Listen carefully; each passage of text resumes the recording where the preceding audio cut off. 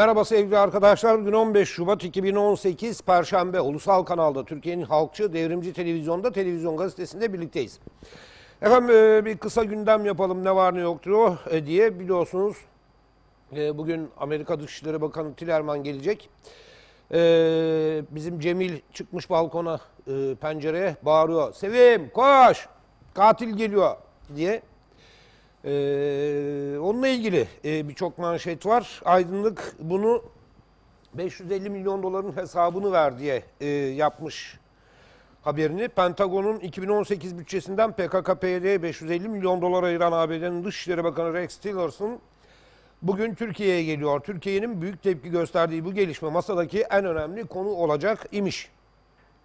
Çifte itiraf diye bir haber yine gazetelerin birinci sayfalarında yer alıyor. O nedir? O da şudur.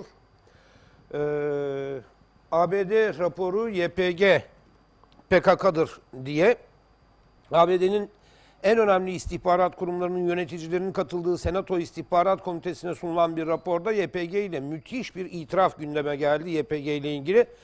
Ee, az sonra bakacağız ama bu konuyla ilgili asıl bilgiyi ikinci bölümde Aydınlık Dış Haberler e, sorumlusu Gökhan Göçmen'le e, yapacağımız e, röportajda vereceğiz.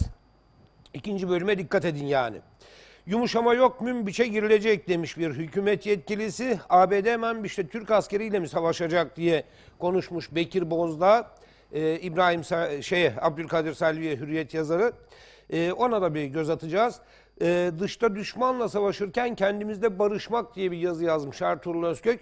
Ha sanırsın ki iç cepheyi genişletelim de işte bilmem ne. Ya öyle bir şey değil. Ahmet Altanların ağzını bulacakları serbest bırakmanın tam zamanı diyor. Soracağım ben sana Ertuğrul Özkök. Soracağım ben sana. Hükümet Esad'la görüşüyor diye bir iddiası var. Kemal Kılıçdaroğlu'nun Yurt Gazetesi'nde manşet ayrıntılarına bakarız. İncirlik ve Kürecik kapatılabilirmiş. Vallahi iyi olur. Ee, harekatta görevli sağlıkçılara takviye yapılıyormuş. E söylüyoruz size. Bizim anlattığımız bu. 15 Temmuz darbe girişiminden itibaren söylediğimiz bu. Askerlik başka bir iştir. Askeri hekimlik, askeri hemşirelik, askeri sağlık e, görevlisi, askeri cerrahlık bunlar bambaşka işlerdir. Sen niye kapatıyorsun askeri hastaneleri? Gatayı niye kapatıyorsun? Açacaksın çaresi yok. Bak ortaya çıkıyor. Uğur Dündar da aynı konuyu yazmış bugün. Bir şehidin son nefesinde yanında olmak başlığıyla. E, Tillerman'ı ilk karşılayan TGB oldu demiş. Ayrıca Soner Yalçın da e, Tillerman'ın bir başka e, bakış açısından kimliğini anlatmış. E, efendim Salih Müslim var. E, Türkiye'nin e, terör listesine koyduğu kırmızı bültenle aradığı PYD lideri Salih e, Müslim e, ho, neredeydi? Belçika'da e, konferanslar veriyor. Hatta Belçika polisi buna eskort bile tahsis etmiş. Ne güzel değil mi? Ee, Kardak ablukadaymış bakarız. Ee, daha önce bir hafta kadar önce dile getirdiğimiz bir konuyu hem e, Salı grup toplantısında Kemal Kılıçdaroğlu dile getirdi hem bugün Yeni Çağ manşet yaptı. Arkadaşlar e, planlı programlı bir Türkmen katliamı e, yaşanıyor Kerkük ve civarında. Ee, bunu bir kez daha vurgulayacağız. Kemal Kılıçdaroğlu referandumda aslında %51.2 çıktı. Ee, bu hükümet gayrimeşrudur, bu yönetim gayrimeşrudur diyor. Hangi akla hizmet bunu söylüyor ona da bir bakacağız. Çünkü bu ortalama bir laf değil. Niye şimdi çıktı bu laf? Bakacağız. Uğur, ben okuyunca bir şey anlamadım. Sen ne anladın ya? Şu laftan. Binali Yıldırım Almanya'ya e, Merkel'le görüşecek ya. Demiş ki Merkel'le sansürsüz görüşeceğiz. Uğur renk vermiyor. Baba nasıl sansürsüz görüşeceksiniz ya? Ha? Binali Bey, sansürlü görüşün siz yine de. Şimdi böyle hani sansürsüz görüşeceğiz falan deyince iki ülke arasında zaten e, krizli bir durum var. Düzeleceğine daha da bozulmasın. Gözünüzü seveyim. Sayın Başbakanım, bir tanecik başbakanım. Ee, ittifakta son söz liderlerdeymiş. Vatan Partisi'nden HDP'ye kapatılsın başvurusu yapılmış. Ee, eski Genelkurmay Başkanı Tayyip Erdoğan dedi ya hesabı sorulacak. Ne yapacaksınız diyor. Ne yapacaksınız? Uğradığımız haksızlıklara bir yenisi mi eklenecek diyor İlker Başbuğ. E, FETÖ Türkiye'nin işgalini hayal etmiş. E, ihanetin sonu yok. Minikler Mehmetçi'ye mektuplar yazmışlar. Ve e, dün biz de e, söz etmiştik, çağrıda bulunmuştuk. E, sevgililer gününde sevgilinize e, hediye alacağınız parayı Mehmetçik Vakfı'na bağışlayın diye. Abi bağış yağmış. Gerçek anlamda bağış yağmış. Tabii sadece bizim e, şeyimiz değil ama şu kadarcık katkımız olduysa Mehmetçik Vakfı'na bu bağış yağmış haberine, e, haberinin ortaya çıkardığı duruma ne mutlu bize. Sevgililer günü diye bir sürü yine gazetelerde sevgililer gününde olur mu ya bu ne biçim sevgili diye ağzı burnu dağıtılmış kadınlar, öldürülmüş kadınlarla ilgili fotoğraflar var. Hiçbir şeyin kıymetini bilmiyoruz. Ağaçları kesiyoruz, hayvanları dövüyoruz, öldürüyoruz, kadınları öldürüyoruz. Ne bileyim böyle garip bir ülke. Halbuki sevgililer günü ya. Aşk. Bak ne diyor? İşitin ey yarenler, kıymetli nesnedir aşk. Değmelere verilmez, hürmetli nesnedir aşk. Hem cefadır hem sefa, Hamza'yı attı kafa, aşk iledir Mustafa, devletli nesnedir aşk. Dağa, e, dağa düşer kül eyler, gönüllere yol eyler. Sultanları kul eyler, cüretli nesnedir aşk. Kime kim aşk vurdu ok, gussa ile kaygı yok. Feryat ile ahı çok, firkatli nesnedir aşk. Denizleri kaynatır, mevce gelir oynatır, kayaları söyletir, kuvvetli nesnedir aşk. Akılları şaşırtır, deryalara düşürür, nice ciğer pişirir, key odlu nesnedir aşk. Miskin Yunus neylesin, derdin kime söylesin, varsın dostu toylasın, lezzetli nes- nesnedir aşk. Bizim aşktan anladığımız ise başka bir şey ya. Yani. Abi türkü dinliyorum. Git hara bul getir, saçlarını yol get. Kimin saçını yoluyorsun lan? Halbuki Karaca olan neydi o? Saçının bir teline hayatın feda olsun diyor. Öbürü de diyor ki saçlarını yol getir. Şimdi diyeceksiniz ki çok ünlü bir ozanın... Ben bilmem abi. İki kurşun ayırmışam. Biri sana, biri bana. Böyle Türkiye olur mu ya? Ve ondan sonra sevgililer gününde karısını öldürdü. Sevgilisinin ağzını burnunu dağıttı. Ne bileyim. Neyse anlamadığımız işlere girmeyelim. Bir anladığımız işlere bir bakalım. Şu e, Rex Tillerson, Tillerson mudur, nedir, ne halttır, ne karın ağrısıdır. Ona bir bakalım. 550 milyon doların hesabını ver diyorlar Tillerson'a. Pentagon'un 2018 bütçesinden PKK-PYD'ye 550 milyon dolar ayıran ABD'nin Dışişleri Bakanı Rex Tillerson bugün Türkiye'ye geliyor. Niye güldün diyeceksiniz. Rex Tillerson Dışişleri Bakanı Pentagon'un bütçesine Milli Savunma Bakanı karışır. O yüzden güldüm. Türkiye'nin büyük tepki gösterdiği bu gelişme masadaki en önemli konu olacakmış. Tillerson'ın çantasındaki Suriye dosyasıyla Orta Doğu turu kapsamında ziyaret ettiği Lübnan, Mısır, Küveyt ve Ürdün'ün ardından bugün Türkiye'ye geliyor. Türk mevkidaşı Mevlüt Çavuşoğlu ile görüşecek olan Tillerson'a çok e, çok sayıda iş adamı eşlik ediyor. Aa, çok sayıda iş adamı niye eşlik ediyor? Biz terör merör falan filan görüşmeyecek miyiz bununla? Rüşvet getiriyor yanında rüşvet. Gel diyor bak iş adamlarını getiriyorum. Bunlarla birlikte Irak'ı, e, Suriye'yi inşa ederiz yeniden diyor. Öf.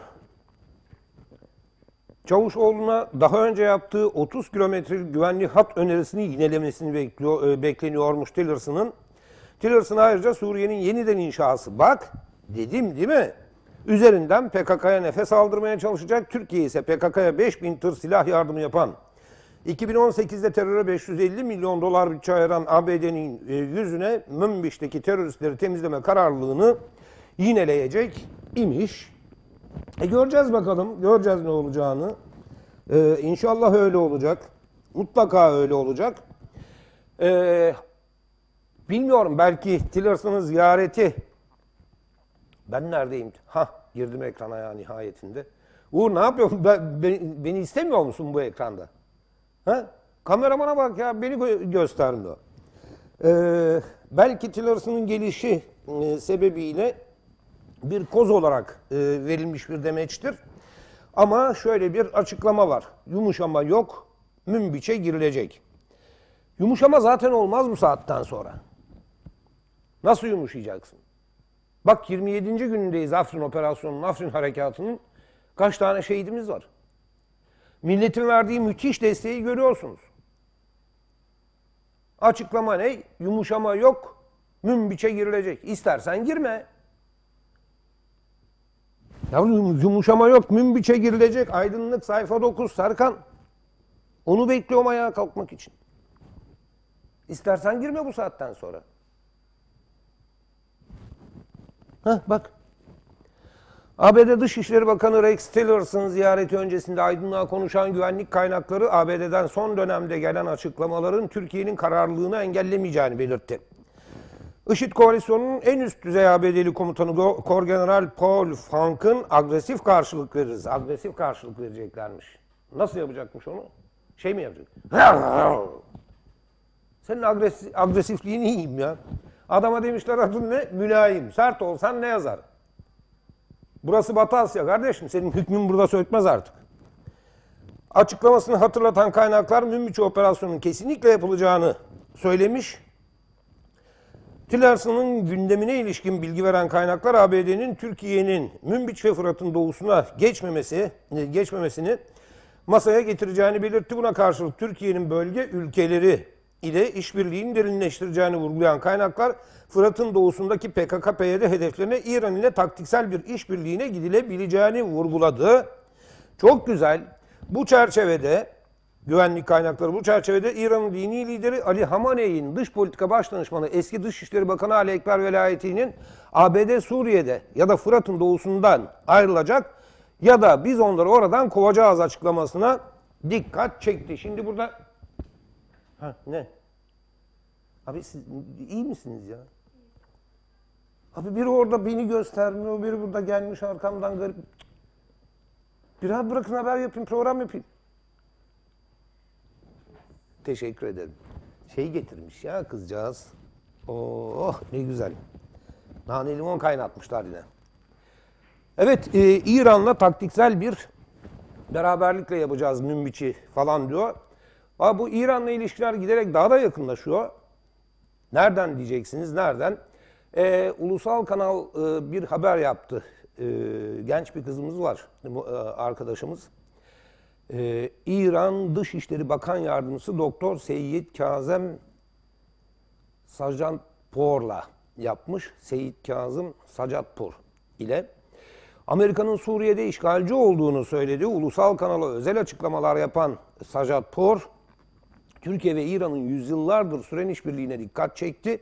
Amerika'nın Suriye'deki planlarını ancak İran Türkiye işbirliği bozabilir dedi. We are concerned about Syria, we are concerned about Iranians. İran Dışişleri Bakan Yardımcısı Doktor Seyit Kazım Saccatpur, ulusal kanala özel açıklamalar yaptı. Amerika'nın işgalci eylemlerine dikkat çekti. US uh, presence in Syria is absolutely illegal. Amerika'nın Suriye'deki varlığı tamamen yasa dışıdır ve uluslararası hukuka aykırıdır. Bölgeyi istikrarsızlaştıran ve savaşı sürükleyen bir işgaldir. Suriye'nin, Türkiye'nin ve İran'ın çıkarlarına yüzde yüz aykırıdır. Amerika'nın askeri operasyonlarının hiçbir yasal dayanağı yoktur. Amerika'nın okyanusun öteki ucundan gelip Suriye'yi işgal etmesini kabul edemeyiz. Bunu ne İran, ne Türkiye, ne Suriye kabul eder. Uh. İran'ın Suriye'nin toprak bütünlüğünü savunduğunu vurguladı be İran şu konuda net. İran'ın hem Suriye hem Orta Doğu politikasında birinci önceliği sınırlar ve toprak bütünlüğünün korunması.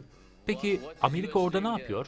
Amerika Orta Doğu'da sınırları değiştirmeye çalışıyor, yeni bölgeler oluşturmaya çalışıyor. Bu İran ve Türkiye için kabul edilemez. This is unacceptable for us and for Turkey.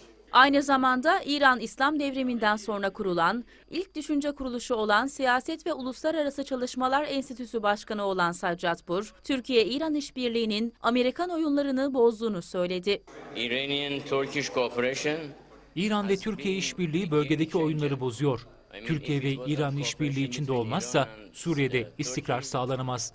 Tabii bir de Rusya deniz aşırı bir yerden gelip buraya yerleşmeye çalışmadık. Biz zaten buradayız. Doktor Seyit Kazım Saccatpur, Astana sürecinin sadece Suriye ile ilgili olmadığına dikkat çekti. Türkiye ve İran ilişkilerinin iyi olma sebebi yalnızca Astana görüşmeleri değil. Astana süreci sadece ilişkilerimizin bir parçası. İki ülkenin ilişkileri çok boyutlu. Astana süreci sadece Suriye ile ilgili bir süreç de değil. Burada devam edecek olan stratejik bir ortaklık söz konusu. Örneğin ekonomik işbirliğimizin bile kendi içinde yatırım, bankacılık, anlaşmalar, ortak girişimleri de kapsayan ayrı bileşenleri var. İran Dışişleri Bakan Yardımcısı iki ülke ilişkilerindeki tarihsel derinliğe vurgu yaptı. İki ülke bölgeye model olmalı dedi. I think one of the most important bilateral relationship Türkiye ve İran sınırlarında 400 yıldır güven ve barış hakim. Orta Doğu gibi bir bölgede Türkiye ve İran'da olduğu gibi sınır güvenliğinin bu kadar iyi sağlandığı başka ülke göremezsiniz. Bu diğer Orta Doğu ülkelerine de model olmalı. Bu yüzden aranızda çıkacak bir husumet diğer alanlardaki işbirliğini de etkiler. So for decade, for centuries, İran Dışişleri Bakan Yardımcısı İsrail'i Orta Doğu'da istikrarı bozan devlet olarak tanımladı. and now they say we are concerned about Syria, we are concerned about Iranians. İsrail Suriye'nin Golan Tepelerini 50 yıldır işgal altında tutuyor. İsrail bölgenin istikrarına zarar veriyor.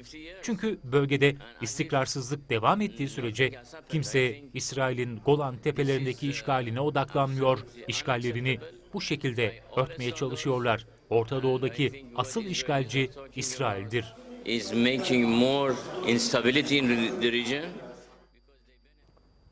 Evet işte bu. Yani İran'la güzel ilişkiler, iyi ilişkiler, birlikte hareket etme, birlikte operasyon. Suriye ile iyi ilişkiler, güzel ilişkiler, birlikte hareket etme, birlikte operasyon.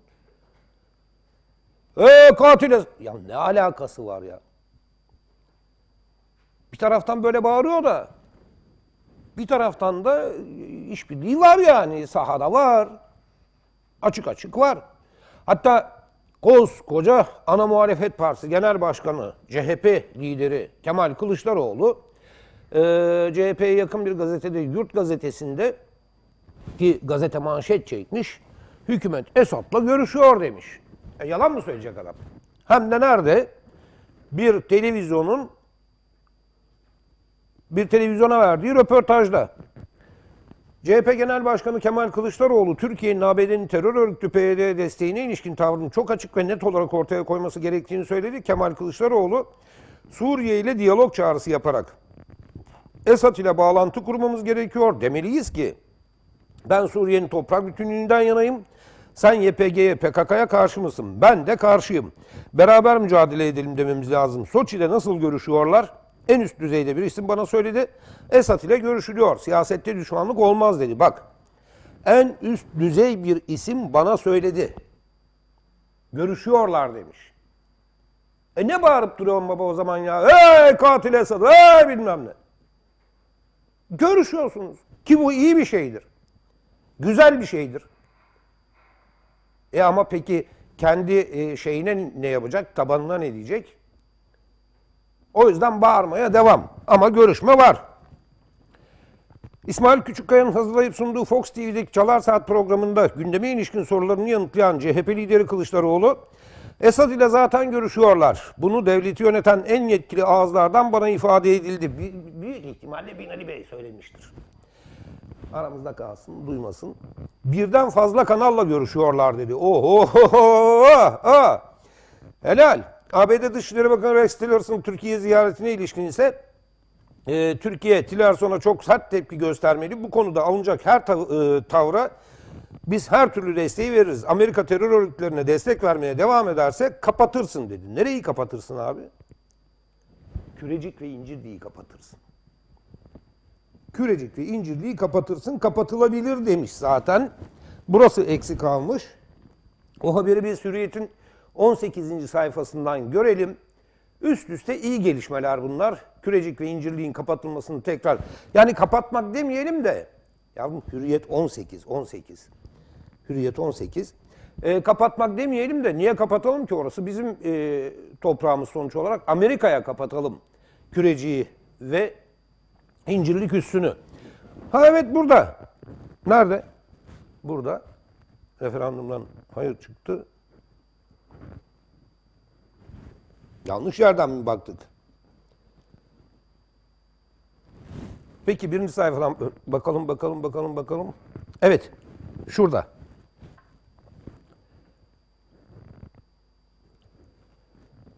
Türkiye ile Amerika arasında oluşan bütün bağları koparır diyor. Türkiye e, şey yaparsa, e, Amerika teröre desteğini arttırırsa, Türkiye'nin çok açık ve net tavır koyması lazım. Bu konuda alınacak her tavrı, her türlü desteği veririz.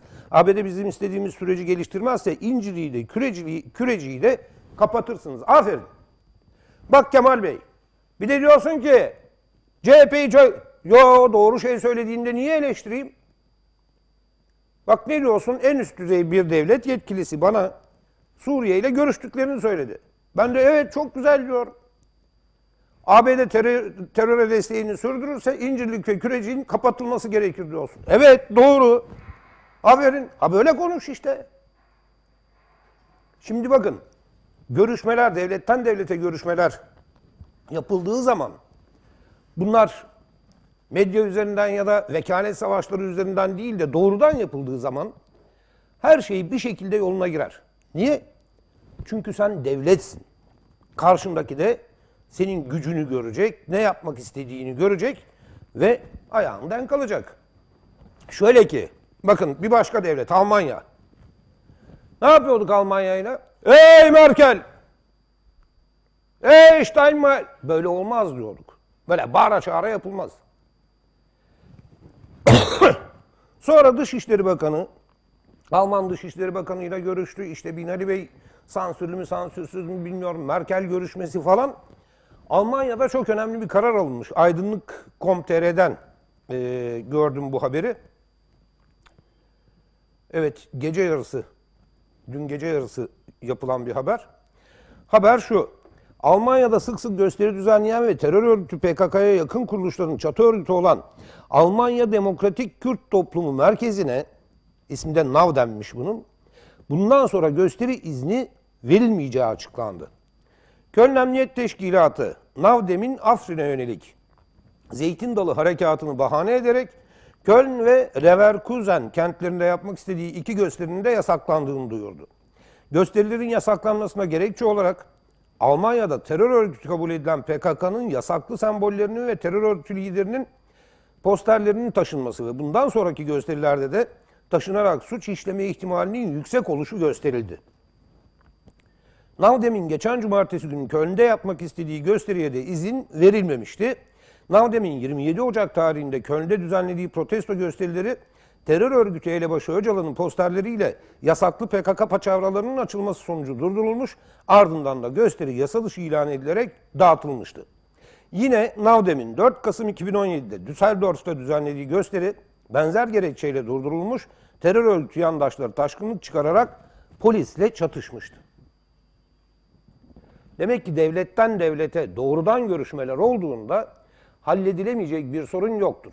Yeter ki o devlet üslubu içinde olsun her şey. Öyle, öyle olmuyor işte. Bak PKK artık Almanya'da Öcalan posteri taşıyamayacak, gösteri yapamayacak, miting yapamayacak. Bu iyi bir gelişme değil mi? Şahane bir gelişme işte. Peki, e, bunlar iyi gelişmeler. İyi gelişmeler de Şu ne o zaman? Şu ne dediğim de şu. Arkadaşlar. Ee, ı, ı, neredeydi o? Evet. Harekatta görevli sağlıkçılara takviye yapılacakmış. Hürriyet'in 17. sayfasında gördüm. Öylesine bir haber. Böyle şu kadarcık bir şey kullanılmış. Harekatta görevli sağlıkçılara takviye yapılacak. Niye baba? Hürriyet 17.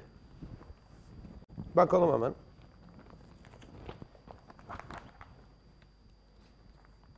Yirmi, on sekiz, on yedi. Evet diyor ki harekatta görevli sağlıkçılara takviye. Türk Silahlı Kuvvetleri'nin yürüttüğü Zeytin Dalı Harekatı'nda görev yapan sağlık görevlilerine takviye yapıldı. Niye az mıymış? Yetmemiş mi? Sağlık Bakanlığı Kilis ve Hatay'daki hastanelere özellikle cerrahi alanında uzman doktor görevlendirmeleri yaptı. Bölgedeki hastanelerin ihtiyaçları harekata özel yeniden düzenlenip karşılandı.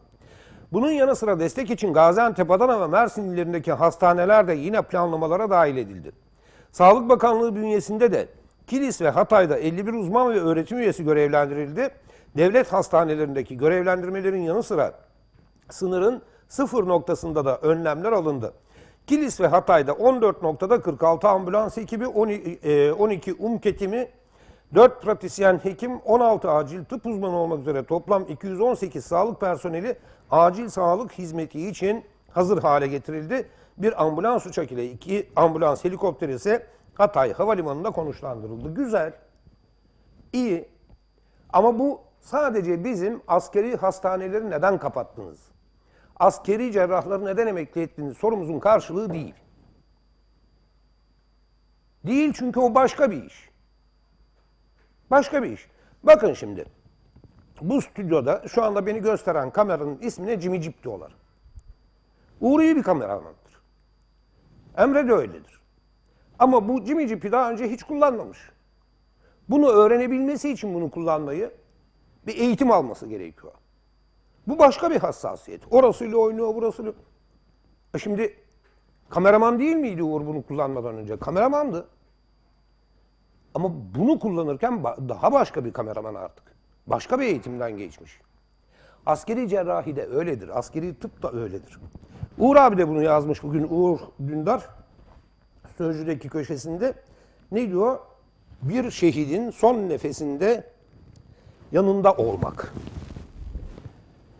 Siz yıllardır terörle mücadele edilen bu ülkede kolu bacağı kopmuş, bedeninin her yanı bomba parçalarıyla dolmuş, ağır yaralı bir askere sağlık hizmeti sunmanın hele hele eski adıyla GATA'da Gülhane Askeri Tıp Akademisi'nde doktor, hemşire veya personel olarak görev yapmanın ne anlama geldiğini bilir misiniz? Son bir umutla GATA'ya yetiştirilen ağır yaralı bir Mehmetçiğin ya da gencecik bir subay, assubay veya uzman çavuşun son nefeslerini o askeri hemşirelerin kucaklarında verdiklerinden haberdar mısınız?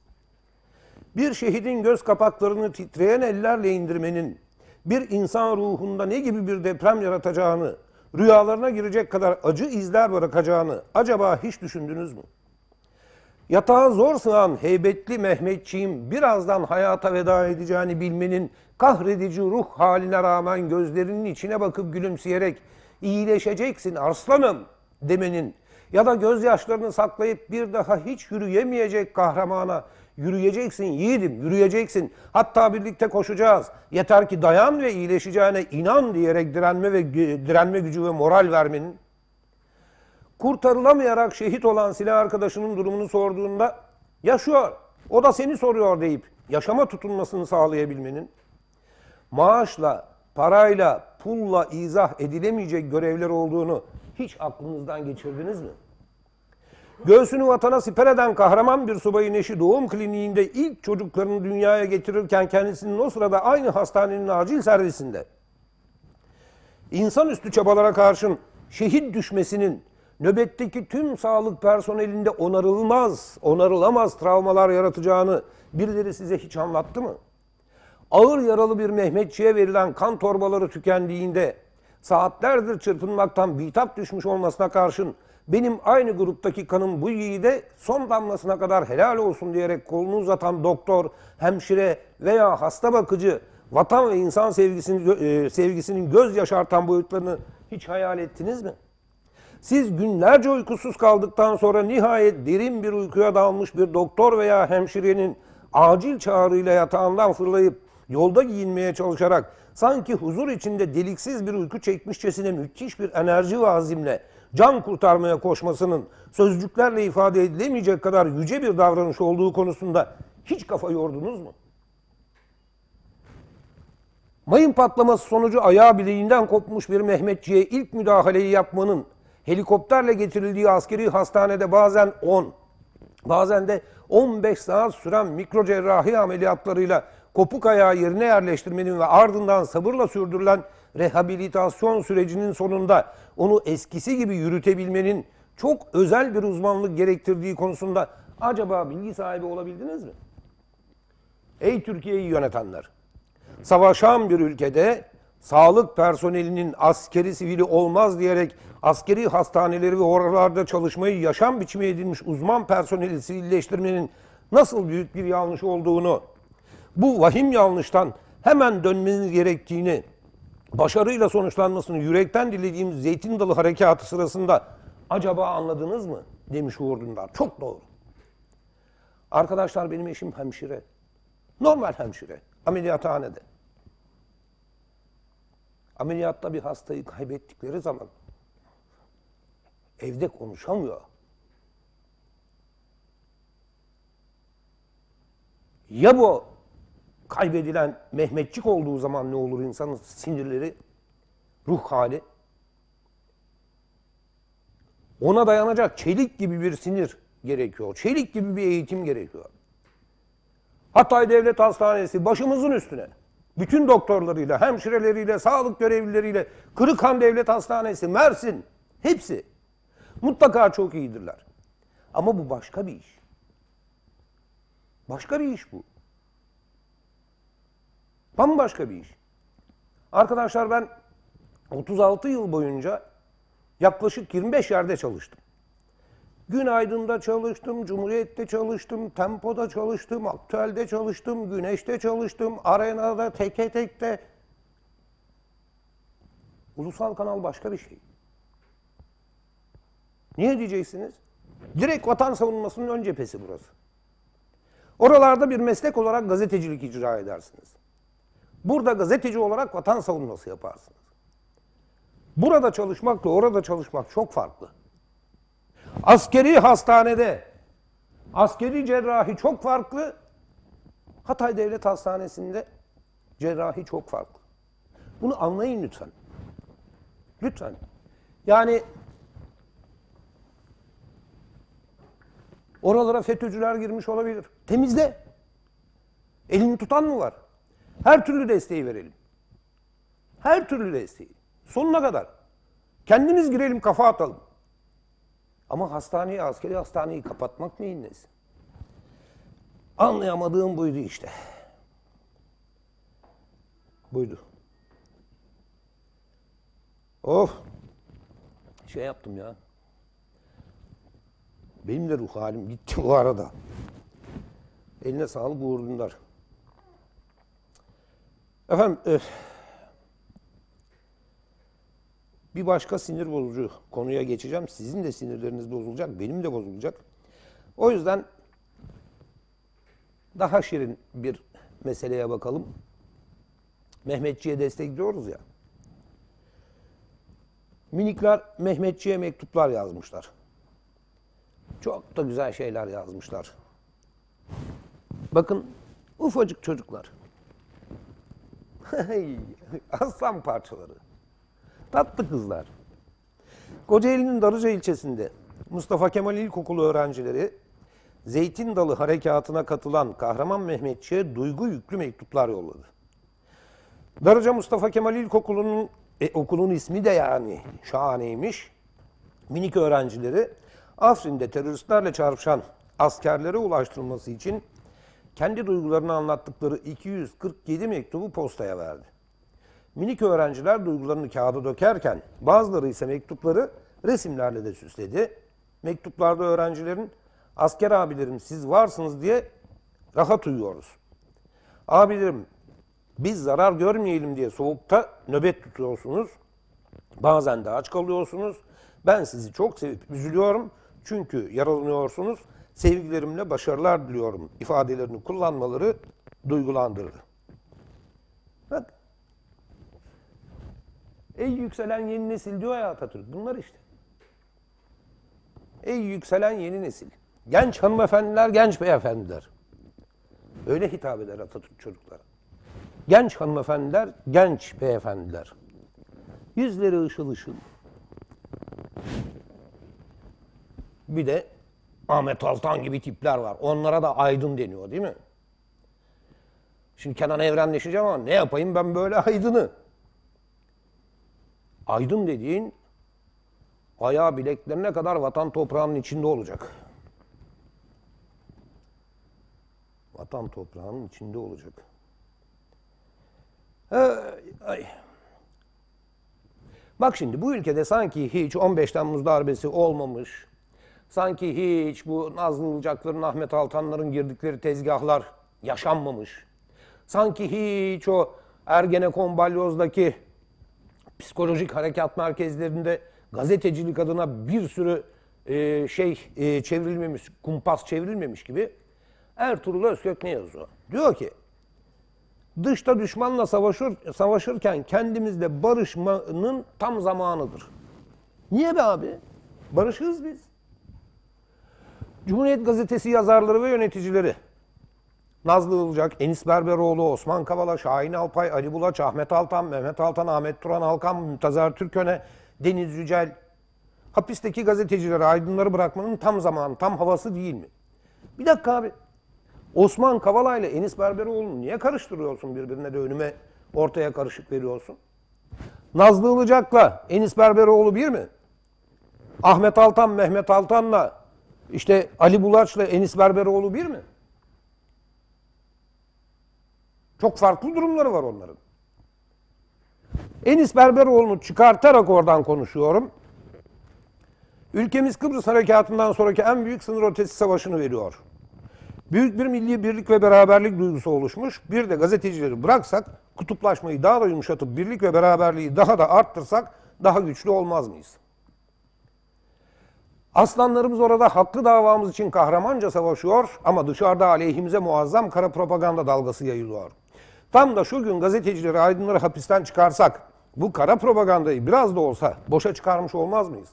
Bu davalar hem kendi halkımız hem de dünya kamuoyu önünde Türk yargısını çok zor bir durumda bırakıyor.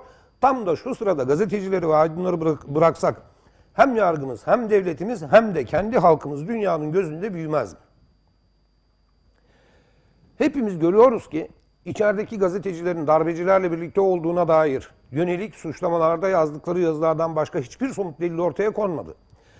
Tam da şu sırada gazeteciler ve aydınları serbest bırakırsak hepimizin vicdanı daha da ra- rahatlamaz mı? Avrupa Birliği ile ilişkilere yeniden canlılık getirmek istiyoruz.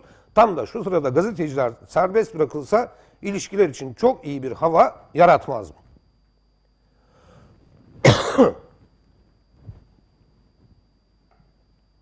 Bak şimdi. Ertuğrul Bey, sana gazetecilik öğretecek değilim. Ama gerekirse de öğretiriz yani. Onu da söyleyeyim. Şimdi bak. Bir, gazeteciler. iki suçlamalarda yazdıkları yazılardan başka hiçbir somut delil ortaya konamadı. Kavramı. Sen bu adamları sübliminal mesaj vermekten atarsan içeriye, e tabi böyle olur. Ahmet Altan, Mehmet Altan, Nazlı Ilıcak vesaire Ergenekon balyoz kumpaslarından sorumludur.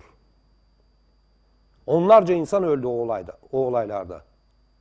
Onlarca insan, yüzlerce insan yıllarca hapis yattı, özgürlüklerinden mahkum kaldı. Ve bu insanlar gazetecilik görüntüsü altında Amerikan ajanı bir örgüt olan Fethullahçı terör örgütünün ne olduğunu biliyorlardı aslında. Doğrudan üye midir diyeyim bilmem. Ona yargı karar verir. Ama ne yaptıklarını gayet iyi biliyorlardı. Ortada bir darbe planı olmadığını da biliyorlardı. Ergenekon diye bir örgütün de olmadığını biliyorlardı. Bundan yargılasana. Asıl sorumluluk burada. Ve Allah'ını seversen gazetecileri bıraksak diyorsun. Buna yargı karar verir. Bir. Yargının işine karışılmaz. İki. Üç. Yahu Ahmet Altan, Mehmet Altan, Nazlı Ilıcak, Ali Bulaç gazetecilik mi yaptılar ya? Elini koy vicdanına söyle. He? Gideceksin FETÖ'cü polis şefinden aldığın belgeleri aynen koyacaksın kitap olacak. Aynen koyacaksın hatta delil karartacaksın haber olacak. e dışarıda görüntümüz düzelirmiş. Düzelmez Ertuğrul Beyciğim. Bak niye düzelmez biliyor musun? Bunlar zaten görüntü bozma operasyonları zaten. Kurt suyun yukarısında durmuş. Kuzu aşağıda su içiyor dereden. Kurt demiş ki alo ne var demiş kuzu? Suyun bulandırıyorsun. İyi de dere sana doğru akmıyor ki senden doğru akıyor demiş kuzu. Yok bulandır. Ha anladım. Ben seni yiyeceğim diyorsun yani demiş kuzu. Mesele bu. Sen ağzınla kuş tutsan emperyalist Atlantik bloku seni bir şekilde karalar. Sen onlar ne diyecek diye yapmayacaksın.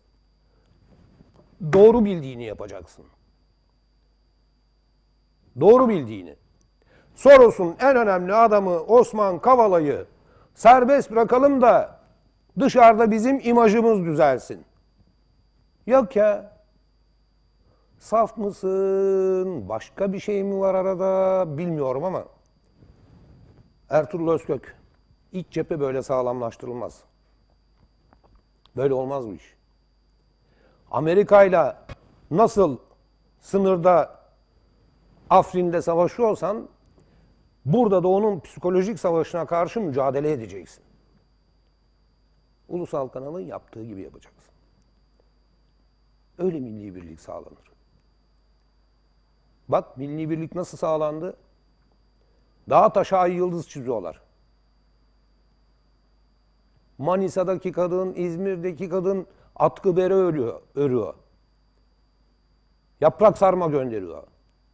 Bak ilkokul çocukları Mehmetçik abilerine mektup yazıyorlar.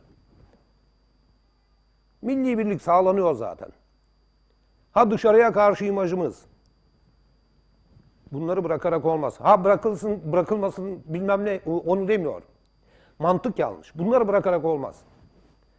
Türkiye'nin dünyadaki imajı ne zaman şahaneydi biliyor musun? Mustafa Kemal Atatürk yedi düveli denize döktüğünde şahaneydi. Emperyalizme kafa tutan, onları denize döken, o savaştan zaferle çıkan bir Türkiye. Gencecik bir Türkiye. Başka ne zamandı? Amerika yapmayacaksın demesine rağmen Kıbrıs'a girdiği zamandı. Başka ne zamandı? 1 Mart tezkeresini mecliste reddettiği zamandı. O zaman çizilen karikatürleri bugün gibi hatırlıyorum. Göğsünde Türk bayrağı olan bir genç tankın önüne geçmiş, Amerikan tankı o. Dünyanın gözünde öyle büyürsün. Böyle büyümezsin. O zaman derler ki Amerika bırak dedi bıraktılar ne olacak ki? Ertuğrul Beyciğim bu işler devlet işleri. Bu işler ciddi işler. Anlamadığın işlere karışma. Tamam. Anlamadığın işlere karışma. Bir, birkaç dakika ara devam edeceğiz.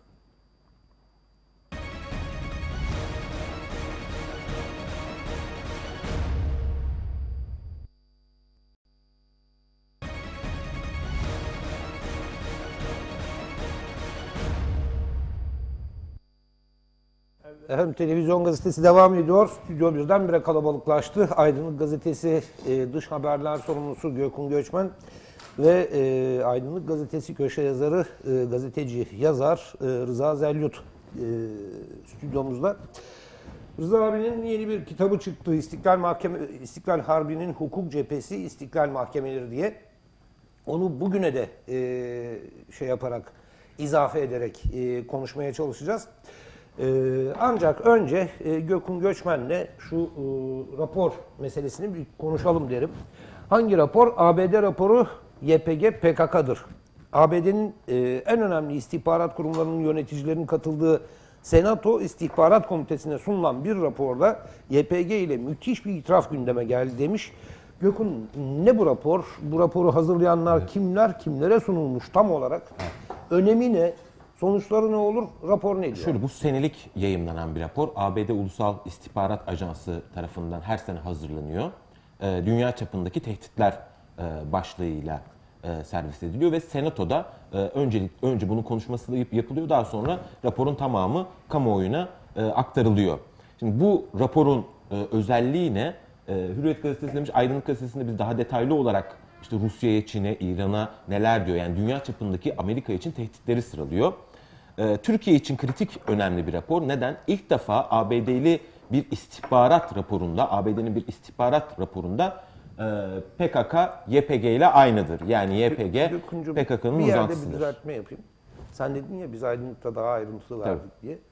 E şimdi ben aydınlıktan vermedim ki ıcığını cıcığını burada vermeyeyim. İzleyici alsın, okusun, tabii. oradan görsün diye. Sen alınma Biz ya. fragman fragman olarak fragman olarak. Sen alınma. Aydınlıkta daha detaylı olarak var. Yani e, şu açıdan bunu söylüyorum. İlk defa bir istihbarat raporunda ABD'nin bir istihbarat raporunda Senato'ya sunulan bir istihbarat raporunda e, Suriye'de faaliyet gösteren e, YPG'nin e, PKK'nın bir uzantısı olduğu, bir otonomi arayışında olduğu yani Suriye'yi parçalamak istediği aktarılıyor. E, bu açıdan Türkiye açısından çok önemli. İkinci nokta ne? Biz çifte itiraf dedik. Yani ilk itiraf diyor ki evet PKK ve YPG aynıdır. Yani PYD'nin silahlı kodu aynıdır. Bizim Bunlar. söylediğimiz şey. Tabii PKK PYD aynıdır diyor. İkinci itiraf da şu, e, bu terör örgütünün e, otonomi arayışına yani Suriye'yi parçalama, bölme arayışına Türkiye, İran ve Rusya karşı koyar. Direnişle karşılaşacak bu diyor. Direnişle karşılaşması muhtemeldir diyor. Yani iki tane tespit, önemli tespit yapıyor ve itirafta bulunuyor. Evet bu zamana kadar saklamıştık. Gerçi tam olarak saklamada değil. Şimdi Senato'da daha önce de konuşulmuştu. ABD'li e, senatörler daha önce de PKK-PYD'nin aynı olduğunu söylemişlerdi. CİA'nın e, sitesinde hala var mı bilmiyorum ama geçtiğimiz ay dünya çapındaki olaylar e, bölümünde e, Amerikan istihbaratının e, sitesinde PKK ve PYD'nin aynı olduğu da yazıyordu. Ancak buradaki önemli nokta ilk defa bir istihbarat raporu senatoya sunuldu. Onay altına alındı. E, bu terör örgütüne karşı da bölge ülkelerinin direnişe geçeceği bir istihbarat raporunda yayımlanmış oldu. Peki sadece bununla mı sınırlı yani? Dur bir dakika burada dur. Ee, e, hemen bir şey sorayım. Sonra öbür tarafına geçelim. E, bu istihbarat raporunun ortaya konması ve senatoda konuşularak e, resmileşmesi Amerika'nın şimdiye kadarki Büyük Orta Doğu projesine e, aykırı bir şey değil mi? Burada e, Trump'ın devreye girdiğini mi görmemiz lazım? Yok Trump'la e, ilgili bir e, durum değil. Zaten Ama aslında e, birçok önemli bir değişiklik bu. önem, önemli bir değişiklik. Şu açıdan önemli bir değişiklik. Bence yani PKK ve PYD'nin aynı olmadığına zaten hiçbir Amerikalı yetkili aslında inanmıyor ve hepsi bunu biliyor. Sahada olan bütün herkes, daha doğrusu Washington'daki neredeyse tüm birimler e, PKK ve PYD'nin aynı olduğunu biliyor. Bence daha önemlisi şu, e, şimdi daha aslında bu senaryolar gündeme geliyor bölge ülkeleri bir araya geldikçe. Ya aslında işte e, İran'da PYD'yi oradan destekliyor. Afrin'de destek veriyor. Rusya zaten onlar Bürosu var. Evet, bürosu var onların. Onlar da bölünmeye ses çıkarmayacak. E, biz yapayalnız e, kalacağız e, gibi böyle ABD tarafından Türkiye'yi yalnızlaştırmaya dönük, daha doğrusu böyle bir senaryonun gerçekleşmesini temenni eden çevreler var. Suriye Benim için- Esad zaten diktatör. Zaten evet hatta çok enteresan yine e, bugünkü e, köşe yazımız Mehmet Yuva da onu şey yapıyor. ABD Esad'la anlaştı mı diye. Esad ve ABD anlaştı mı diye. Yani işi o kadar o, o kadar ileri bir raddeye vardırıyorlar ki bu e, hükümete yakın kimi köşe yazarları şunu söylüyorlar. Yani bakın biz Amerika ile anlaşmazsak zaten Esad anlaşacak. O anlaşmadan biz anlaşalım. Yani böyle bir e, tabloyu ortaya koymaya çalışıyorlar. Ama başka bir şey Böyle bir daha var. yanılsama. Kemal Kılıçdaroğlu özel televizyonda e, çok önemli bir devlet yetkilisi bana söyledi. Suriye ile görüşüyorlar dedi. Tabii. Yani Zaten bu bilinmeyen bir şey değil. Bilinmeyen Evet. bir şey değil. peki ikinci e, tarafı ne raporun? Yani burada bu dediğim gibi benim için daha önemli ve kritik gelen iki nokta var. İlkini biraz önce söyledim. Bölge ülkelerinin aslında birlik olacağı, e, Suriye'deki terör örgütüne karşı bölge ülkeleri yani Türkiye, İran ve Rusya karşı koyar direnişle karşılaşması muhtemeldir diyor. İkinci noktada ABD ve Türkiye ilişkilerinin geleceğine ışık tutuyor. Nedir o? Diyor ki gerginlik devam edecek. ABD ve Türkiye arasındaki gerilim devam edecek. Bunu da şu açıdan önemli buluyorum. Şimdi işte Tillerson geliyor, McMaster geldi, ABD ile temaslar sürüyor. Kimi çevrelerde de hala böyle bir şey var. Yani ABD-Türkiye ilişkileri düzelebilir. Aslında hükümetin kendisinde de bu var. Ya biz aslında NATO müttefikiyiz. Gelin onlarla iş tutmayı bırakın. Gelin bizimle birlik olun. Saflık. Planlarımızı ortaklaştıralım. Saflık, zaman kaybı. İşin kötüsü zaman kaybı. Yani jetler havalanmış havada sen terör örgütünü vuruyorsun. Adam diyor ki raporunda bunlar PKK'dır. Ben bunları desteklemeye devam edeceğim diyor. Kimi çevrelerde hala Türkiye-Amerika ilişkileri düzelebilir mi? Acaba bir ortak nokta bulunabilir mi? Biz iki müttefiyiz, tekrar ilişkiler rayına girer mi gibi kimi söylemler var. Bir Bu şeytanlık rapor- yapayım mı? Şeytanın avukatlığını yapayım. Tam da Tillerson'un gel- geldiği gün bu Türkiye'de gazetelerde Evet, yayınlandı. evet. Mesaj çok açık. Bakın e, Kuveyt'e gitti. Bu rapor yayımlandı. Bu rapor yayımlandığı gün e, ABD Dışişleri Bakanı Kuveyt'teydi. E, Kuveyt'te PKK-PYD'nin ana omurgasını oluşturduğu e, sınır gücüne e, yardımlarımız devam edecek. Ama Türkiye değil de Irak Suriye sınırında esas güvenliği sağlayacaklar falan gibi bir şey söylüyor ama esas nokta şu. Senatoda e, bakın bütün işte istihbarat şefi Mike Pompeo örneğin işte CIA ve FBI direktörleri de yanlarına alıyor. Senatoda konuşuyor. Diyor ki PKK-PYD aynıdır. Dışişleri Bakanları Kuveyt'te diyor ki evet aynı ama biz bunları desteklemeye devam edeceğiz.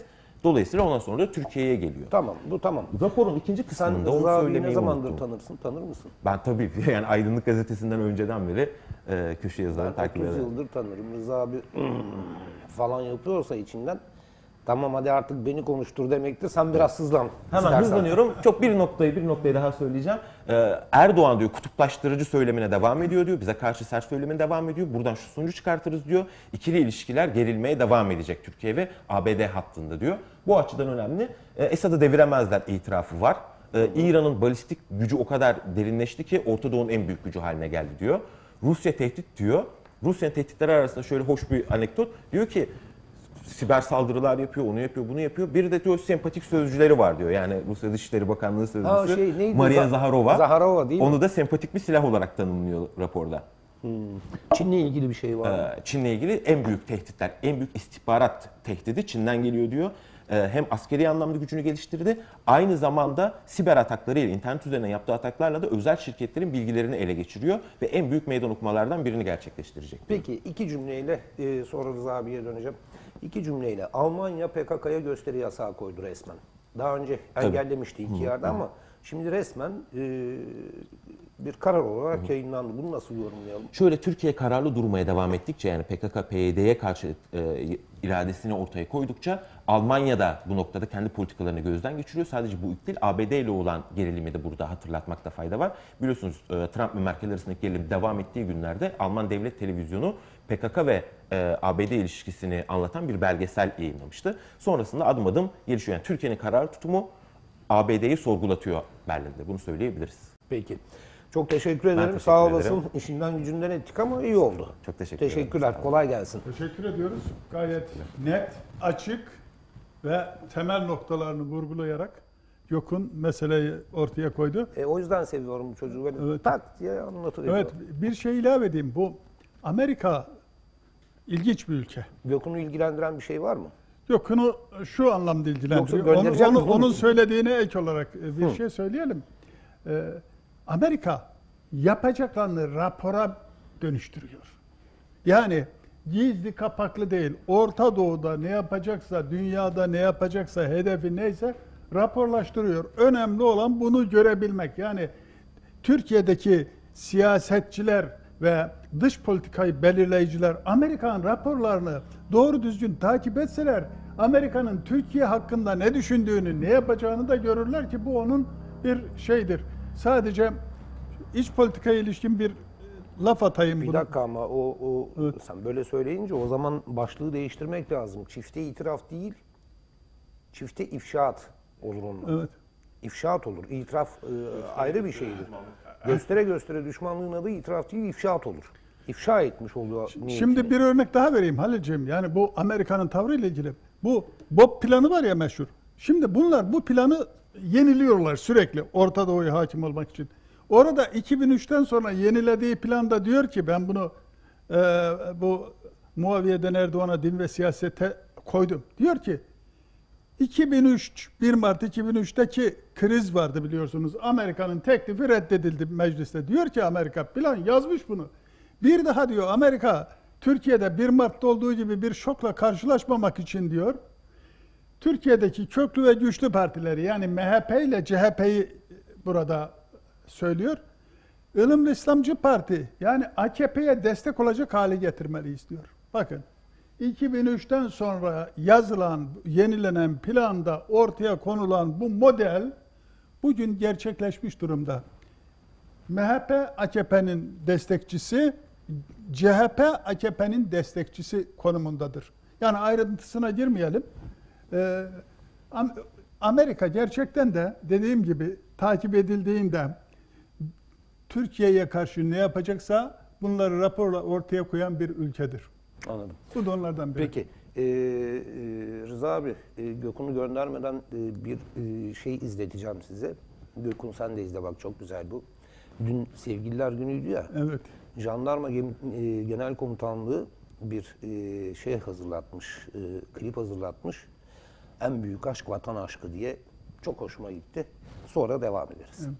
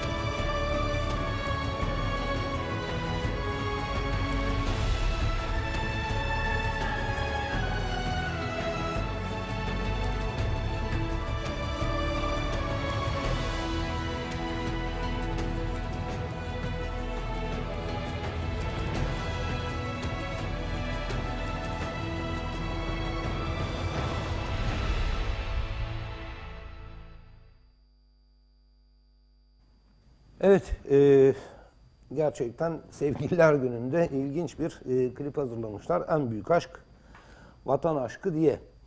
Yunus Emre'den ne demişti Rıza abi? E, işitin ey erenler, kıymetli nesnedir aşk. Değmelere verilmez, hürmetli nesnedir aşk. Değil mi? Evet.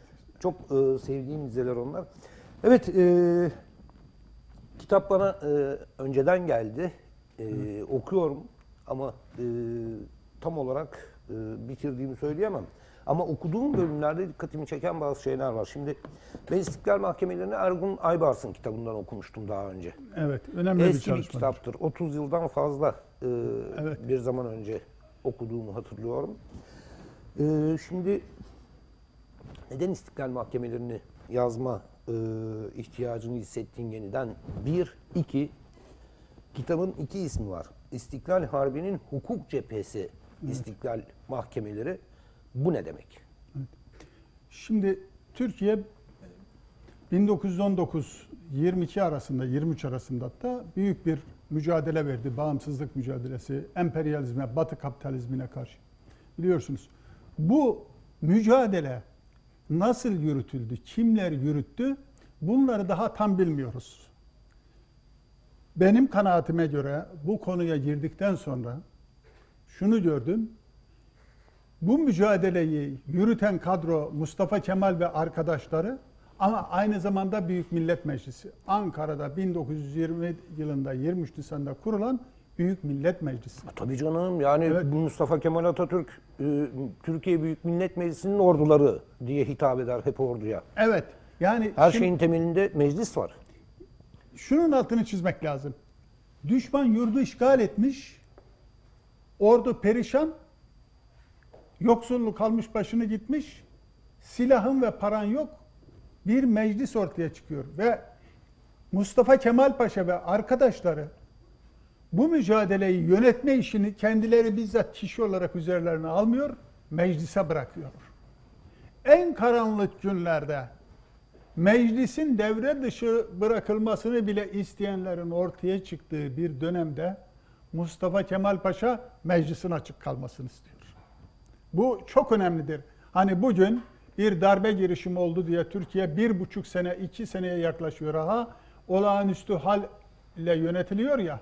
Olağanüstü hale Mustafa Kemal ve arkadaşları karşı meclis kararıyla her şey yürütülüyor ve en fazla istiklal mahkemeleri de meşhur bu istiklal mahkemeleri de 6 ay için ancak hüküm sahibi. Bunun altını çizelim. Abi Yunus Nadi Bey e, ile konuşurken Atatürk me- e, meclisten geçmesi gereken bir karar var. Fakat mecliste muhalefet ediliyor. Yunus Nadi Bey diyor ki ya pa- paşam diyor ne olacak at bir imza bitsin. Olmaz Yunus Nadi Bey diyor. Önce meclis.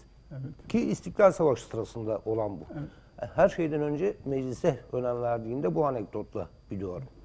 Tabii şimdi meclisin bu savaşı yönetmesi lazım. Nasıl yönetecek? Şimdi hani ilkokul kitaplarından lise hatta üniversitelerde de artık öğretilen bir şey var. İstiklal Savaşı'nda millet topyekün düşmanla savaştı. Hayır kardeşim. Kimse kusura bakmasın. Milletin yarıdan çoğu bu mücadeleye karşı kullanıldı. Millet karşı değildi ama kullanıldı. Kim kullandı bunu? İstanbul'da bir hükümet var. Devletin sahibi olan o, padişah ve çevresi. Bunlar Anadolu'da başlayan bu mücadeleyi boğmak için her şeyi yapıyorlar. Ve düşmana karşı kim şey yapacak? Asker direnecek değil mi? Asker birliklerini bırakıp kaçıyor, silahını alıyor, hayvanını alıp kaçıyor. Çıkıyor dağa, dağda eşkıyalık yapıyor.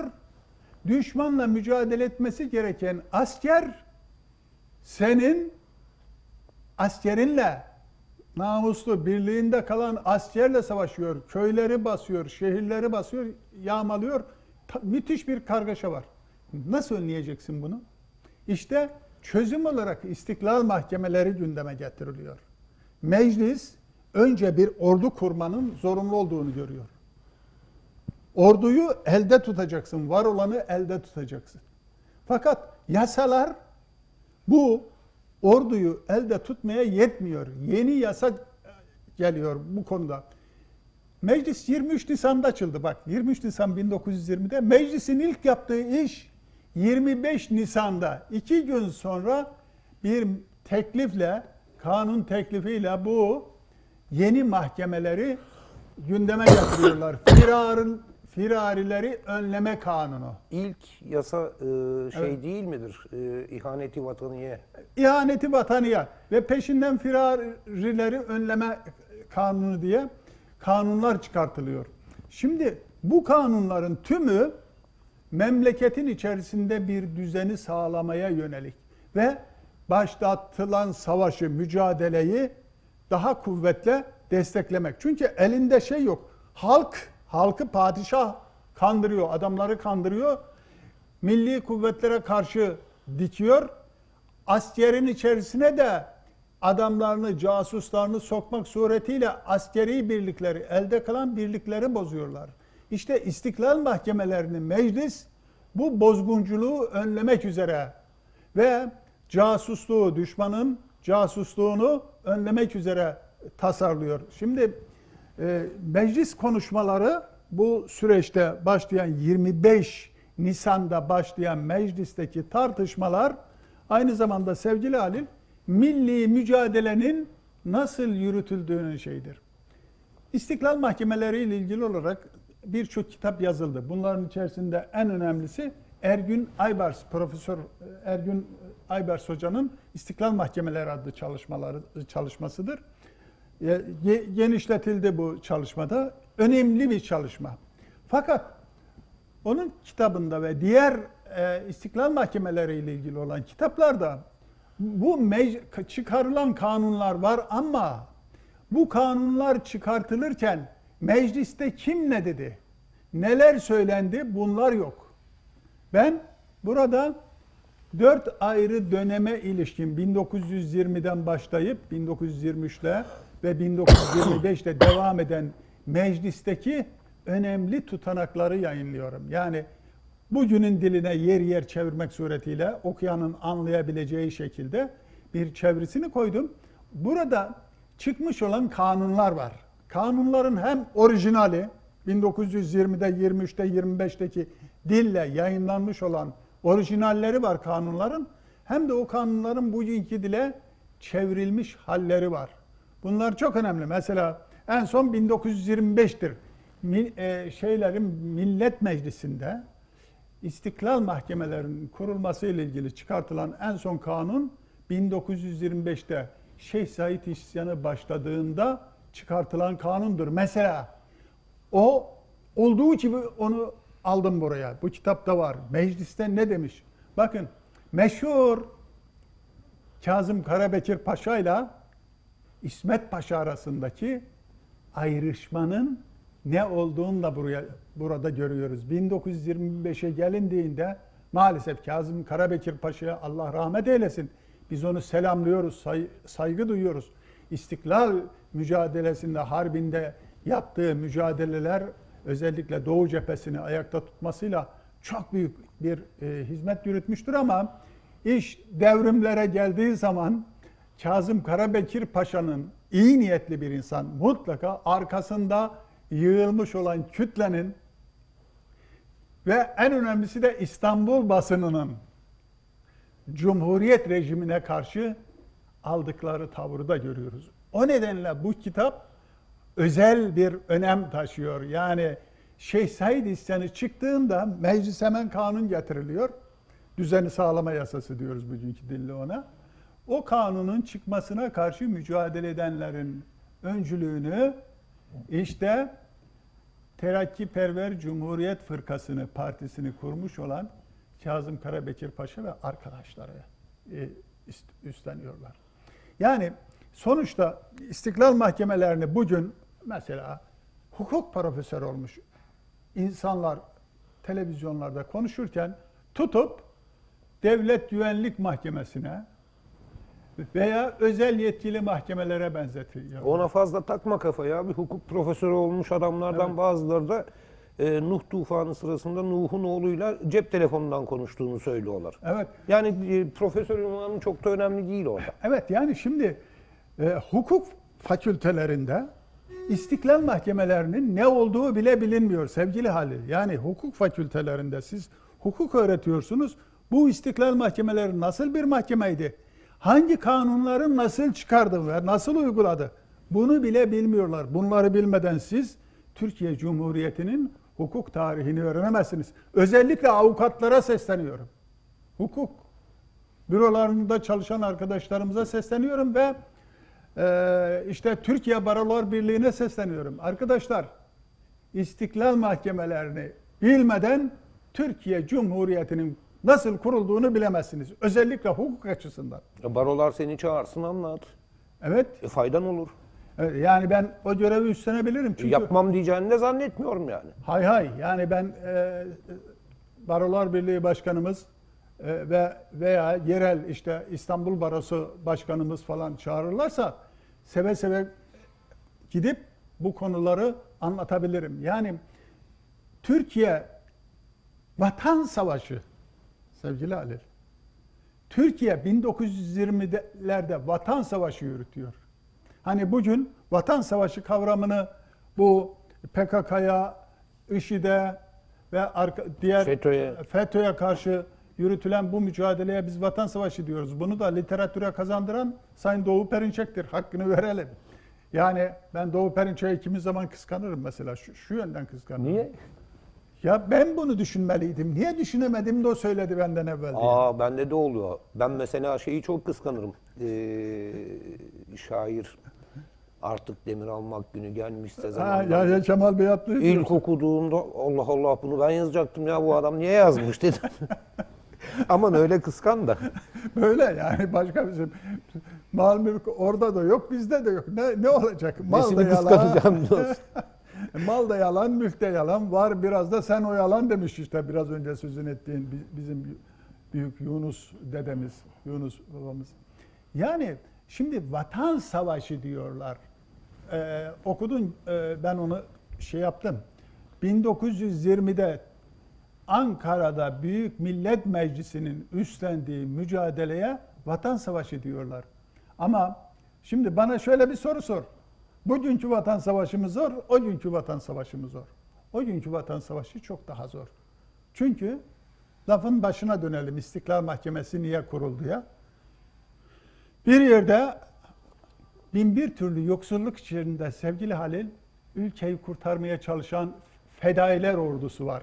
Bu, biz bu fedailer ordusuna, bu mücahitlere, hadi İslamcıların tabirini de kullanalım, mücahitlere, fedailere Kuvayi Milliye adını vermişiz. Ama karşısında çok daha güçlü bir kuvvet var. Kuvayi inzibatiye. Kuvvayi inzibatiye yani düzeni sağlamak. Kimin kuvveti bu? Padişahın İstanbul'da kuruluyor. Padişahın kuvveti mi kalmış? İngilizler gelmiş, işgal etmiş. Evet işte bol para veriyorlar. Paralı asker toplanıyor ve e, bu paralı asker İstanbul, İzmit üzerinden Ankara'yı basacak da Ankara'yı dağıtacak. Abi burada e, benim kafamda bir şey e, oluştu şimdi. Tamam Namık Kemallerin e, o dönem aydınların çok önemli bir e, şeyi vardır. E, vatan kavramının Türkiye'de gelişmesinde. Tevfik Fikretlerin, Namık Kemallerin. Ama asıl vatan kavramının Türkiye Büyük Millet Meclisi'nin bu çalışmaları sırasında oluştuğunu düşünebilir miyiz? Kesinlikle çok doğru bir Çünkü tespit. yaban romanını hatırladım sen anlatırken. Evet. Köylü benim tarlam buraya kadar diyor, buradan ötesini tanımam diyor. Bu haldeyken o meclis çalışmaları sayesinde vatan kavramı daha bir oturmuş olması gerekir.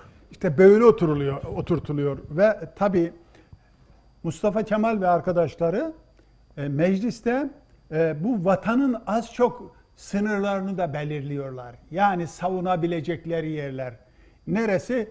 Trakya ve Balkanlar. E, üç aşağı beş yukarı bugünkü sınırlara denk bir şey. E, Selanik de işin içinde var ama. O özlemin içinde Selanik de var. Güneyde ise Halep'i de içine alan ve Süleymaniye'den şey Körfez'e doğru uz- uzanan Pers Körfezi'nin başına doğru uzanan bir hat.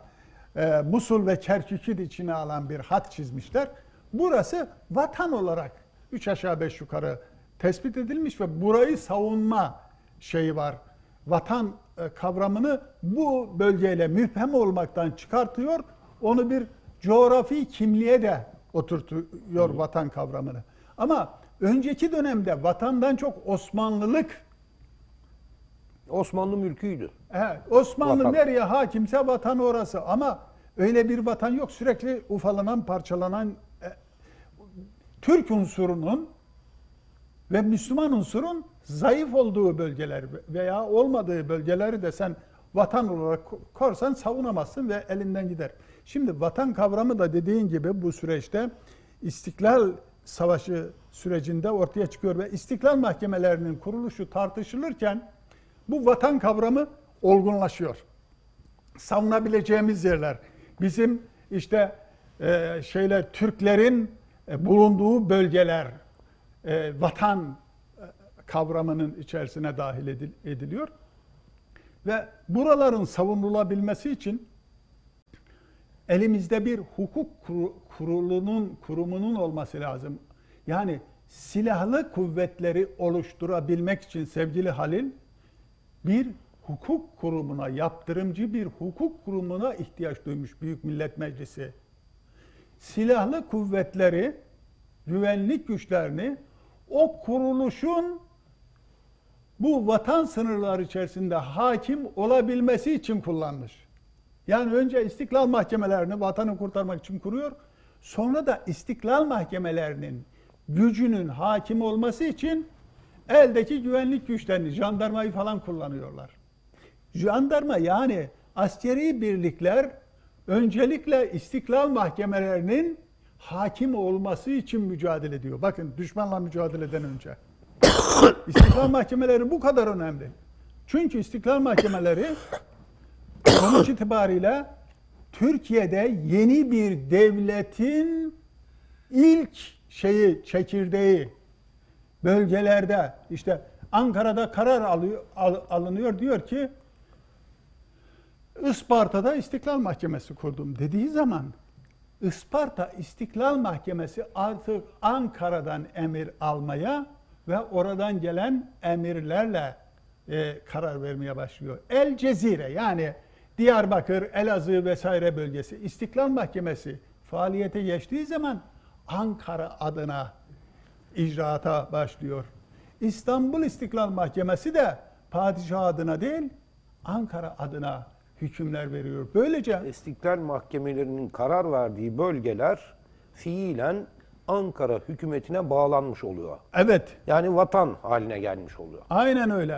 O nedenle biz diyorlar bu vatan savaşını yürütebilmemiz için ben söylemiyorum bunu. 1920'de Ankara'da toplanan vekillerimiz söylüyor. Biz bu vatan savaşını yürütebilmek için bu istiklal mahkemelerini hakim kılmalıyız diyor. Başka eski mahkemeler var. Önce eski mahkemelerle yürütmeye çalışıyorlar. Kanun çıkarıyorlar. işte vatana ihanet kanunu vesaire kaçakları önleme kanunu.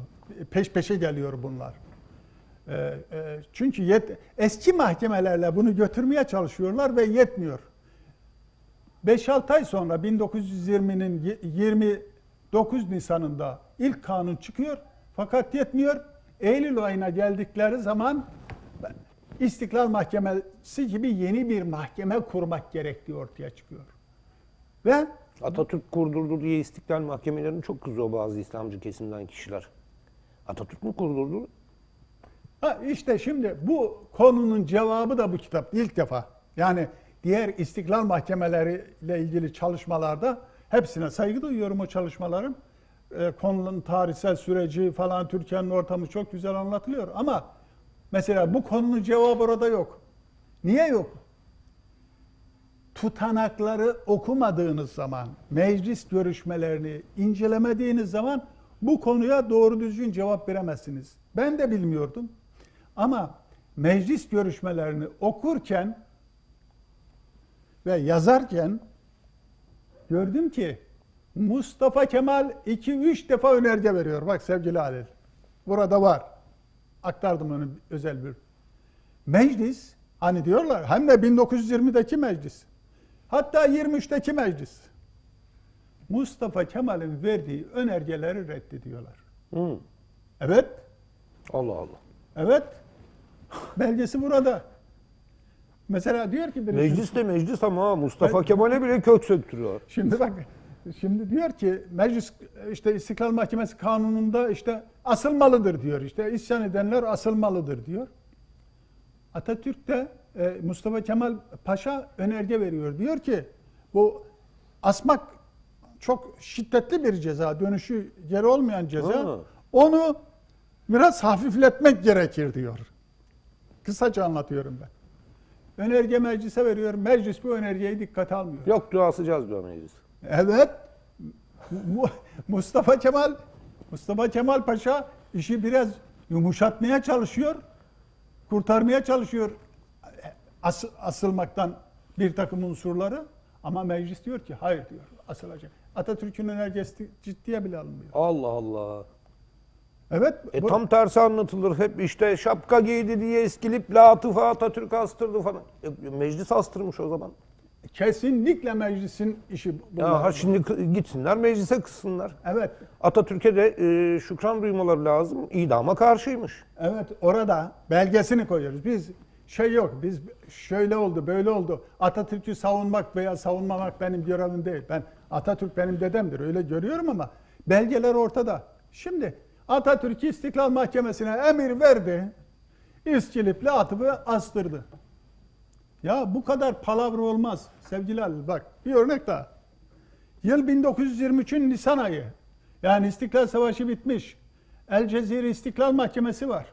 El Cezire İstiklal Mahkemesi'nin hakimleri bizim görevimiz bitti. Biz mahkemeyi kapatıyoruz diyor. Atatürk bunlar meclise bağlı ya Cumhurbaşkanı olarak meclisin başı da Mustafa Kemal bunlara şey veriyor, tel çekiyor. Diyor ki orada daha yapılacak işler var. Lütfen şeyinizi, görevlerinizi terk etmeyin. Ama El Cezire İstiklal Mahkemesi'nin üyeleri Atatürk'ün bu emrini dinlemiyorlar ve bölgeyi terk edip biz mahkemeyi kapattık diyorlar ve El Cezire İstiklal Mahkemesi fesholuyor. Oo bu tam tam bağımsız mahkemeymiş ya. Kimsenin lafını dinlemiyor. Aynen öyle. El Cezire İstiklal Mahkemesi'nin tarihi incelesinler. Bunun böyle olduğunu görecekler. Yani Mustafa Kemal emir veriyor kardeşim. Cumhurbaşkanı olarak mahkemeye, mahkeme ona bağlı, meclis üzerinden meclise bağlı.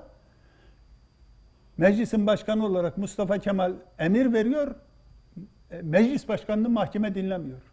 Feshediyor. Şimdi Ba- bağımsız yargı diye ben buna derim işte. Aynen öyle. Bir başka örnek daha. İstanbul İstiklal Mahkemesi kuruluyor. Bu isti- 1923 e, 1924'ün başına doğru 23'ün sonunda Cumhuriyete karşı falan şey yapanlar işte e, İstanbul'da e, propaganda yapanlar, örgütleşenler falanla ilgili İstanbul polisi Atatürk'e suikast yapmak üzere bir şey grup oluşturulduğunu tespit ediyor. İstanbul İstiklal Mahkemesi bunları yargılıyor. Konu önlerine geliyor. Mahkeme diyor ki bu mahkemenin kuruluşunda Cumhuriyete yönelik tehditler söz konusu edildiği için ve Mustafa Kemal'e yönelik suikast, Cumhurbaşkanı'na yönelik suikast da bu konunun dışında olduğu için bu olay bizi ilgilendirmez diyor. Davayı şeye, dosyayı iade ediyor. Hadi ya. Evet, Ha bu suçun şahsi bi- biz Cumhuriyet'in e, kendisine yönelik suçlara bakarız. O şahsa yönelik suç. O yüzden ben bakmam diyor. evet diyor ki bu mahkemenin kuruluşunda, kuruluş kanununda bu var. Şahıslara yönelik suikast girişimi Cumhurbaşkanı da olsa yok. Onun için davanın iadesine, dosyanın Cumhur, şey, müddei umumiye savcılığa iadesine O zaman bu, bak bu hep yanlış bilinen bir şey. Çok önemli bir şey anlatıyorsun Rıza abi. Ee, İstiklal mahkemeleri sanki Atatürk'ün şuraya gidin buraya gidin e, diye emir verdiği mahkemeler ol- olarak anlatılıyor. Oysa tam bir bağımsız yargı organı. Müthiş bir bağımsızlık var. Bak tekrar ediyorum. Bu başka bir şey de olamaz. Şimdi bak. Bugün ne yapıldı? 15 Temmuz darbe girişimini bahane ederek bir olağanüstü hal ilan edildi değil mi? Meclis darbecileri yargılamak üzere yetki verdi hükümete. Olabilir. Peki AKP bugün ne yapıyor? Darbecilerle ilgili olarak mı kullanıyor bunu? Hayır efendim. Yolsuzlukları, şunları, bunları bile gündeme getiremiyorsun. Şeyle ilgili. Aldı bu olağanüstü hal darbe yasasının gerekçesini bir kenara bıraktı. Bütün işine gelmeyen ne varsa oraya doldurdu. Mahkemeler de bu yönde karar veriyor. Yani bak şunu söylemeye çalışıyorum. Bugünün mahkemeleri 1923'ün istiklal mahkemeleri kadar bağımsız değil. Valla ben e, şöyle söyleyeyim mahkemelerin yaptığı yanlışlar, hatalar, şunlar bunlar vardır. Evet. Ama genel anlamda ben bu mahkemelerin on binlerce e, FETÖ'cüyü, PKK'lıyı içeri atmasını hiç de şey bulmuyorum. Yanlış bulmuyorum.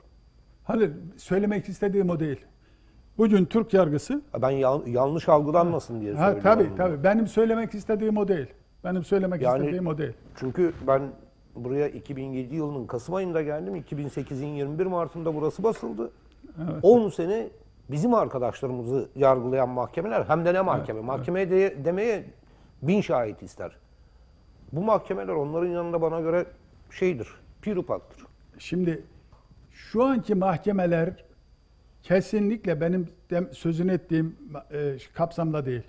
Ve ben senin sen de iyi biliyorsun ki 2008'de beni de tutuklayın diye bu kanaldan seslenmiş bir Her insanım. zaman söyledim Ha, yani şimdi o, o FETÖ'nün mahkemeleri ayrı bir şey. O Amerikan Siyan'ın mahkemeleriydi. Türkiye'yi dizayn etmek üzere Amerika'nın e, FETÖ üzerinden kurdurduğu mahkemelerdi. Yok be Rıza abi. Evet. 12 Mart 71'de çok mu bağımsız mahkemelerdi? O da şey- ya sevgili Ali sen yani Uğur musun? Mumcuları içeri atanlar, deniz gezmişleri asanlar bilmem Kim neler. yaptırdı onu? Onu da Amerika Ha, yani. yaptırdı. 80'i kim yaptırdı? Onu da Amerika yaptırdı.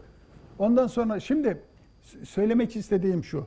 Yani bağımsızlıkta istiklal mahkemeleri bağımsızlıkta. O tamam, o müthiş bir şey senin Evet. anlattıkların. Müthiş bir bağımsızlık. Bağımsız yargı dediğin öyle olur. Evet.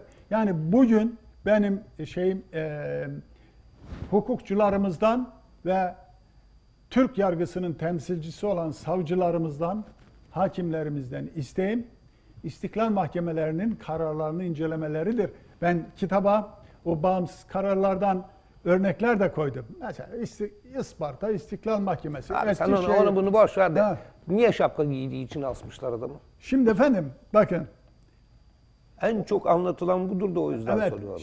olayın şapkayla falan ilgisi yok. Bin, e, şeyin İskilipli 1925'te asılan, 25'in sonunda asılan İskilipli Atıf vatana ihanet suçundan asılmıştır. Ve bu kanun 6 e, Mart 1925'te meclisten çıkartılmıştır. Yeni İstiklal Mahkemeleri Kanunu'dur. Özü itibariyle yeni bir İstiklal Mahkemesi kurulması kanunudur. Çünkü İstiklal Mahkemeleri birilerinin zannettiği gibi öyle yıllarca süren değil, sözünü ettim, en çok 6 ayla sınırlı mahkemedir. Görevi. Altı- Evet. 6 ay sonunda meclisin tekrar oturup karar vermesi lazım. Me- Bir mahkeme kurdun mu 6 ay sonra? E, e, o mahkeme 6 ayın sonunda otomatik olarak fes oluyor. Abi sen ne diyorsun? Evet, Ergenekon davası 8 sene sürdü be. Hala devam ediyor. Yani bunlar demek ki o 6 ay içinde kaç tane davaya bakabiliyorlar. Evet. Şimdi meclis gerek duyarsa toplanıyor. Meclis kararıyla o mahkemenin görev süresi uzatılıyor. Atatürk emrediyor veya İsmet Paşa emrettiği için değil. Anlatabiliyor muyum? Birçok mahkemede kaldırılıyor. Mahkeme kendisi diyormuş zaten. Evet, tamam benim işim bitti ben gidiyorum diye. Kimisinin de görev, hayır meclis diyor ki senin görevin yetini 3 ay sonra aldım diyor. Öyle öyle meclisin elinde her şey. Yani beğenmediği Ha, zaman meclis mesela. bunların çalışmalarını takip ediyor, verdiği kararları inceliyor. E, Tabii Şş, hop dur bakalım bir dakika diyor. Meclise her ay yaptığı işlerle mahkeme cetvel sunmak, hesap vermek, rapor vermek zorunda. Mecliste bunu inceleyen bir encümen var, komisyon var. Arkadaşlar Atatürk'e ya da İnönü'ye hesap vermiyor. Bak meclise hesap veriyor. Kesinlikle. O hani e, hep yanlış bilinir ya. Atatürk'ü İnönü'yü diktatör gibi göstermek için. Atatürk'e, İnönü'ye, bilmem kime hiç umurunda değil mahkemenin. Doğrudan meclise. Meclis Başkanlığı Encümen Komisyonu'na işte e, e, şey mahkeme ile ilgili işlere bakan Encümen Komisyonu var. Ona gidiyor raporlar. O rapora göre meclis yanlış yapan e, şey görevliyi değiştiriyor. Ve bu me- şey mahkeme üyeleri de meclisten seçiliyor. Onun altını çizelim. Anladım. Bunlar meclisin hukukçu üyelerinden seçiliyor. Sonucu şu sevgili Halil. İstiklal mahkemeleri Türkiye Cumhuriyeti'ni kuran süreçte Türk ordusu kadar önemli bir görev yapmıştır. Onun için İstiklal Harbi'nin hukuk cephesi İstiklal Mahkemeleri demişsin evet öyle bir isim verdim. Özellikle avukatların, e, savcıların, hakimlerin bu çalışmayı okumasını, e, incelemesini ben istiyorum. Tabii e, bizim e, kanalımızı izleyen insanların da mutlaka ilgisini çekecektir diye düşünüyorum. Peki.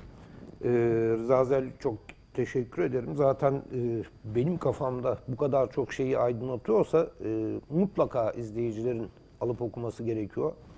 Çünkü ben dediğim gibi daha önce Ergun Ar- Aybars'tan okumuşum. Daha bundan ne çıkar ki falan diyemem. Çok önemli şeyler çıkıyor. E, teşekkür ediyoruz. Sağ olasın. Arkadaşlar bugün bu kadar. E, yarın saat 10'da tekrar birlikte olacağız. Bu ara programı bir saat öne aldık Rıza abi. evet, Evet. hayırlı olsun. Ee, yarın saat 10'a kadar lütfen kendinize iyi bakın. Aman salgın hastalıklar var, havalar böyle bir böyle dikkatli olun. Ama sadece yarın saat 10'a kadar değil. Biz kazanacağız. Biz kazanıncaya kadar. Kendinize çok iyi bakın. Hoşçakalın.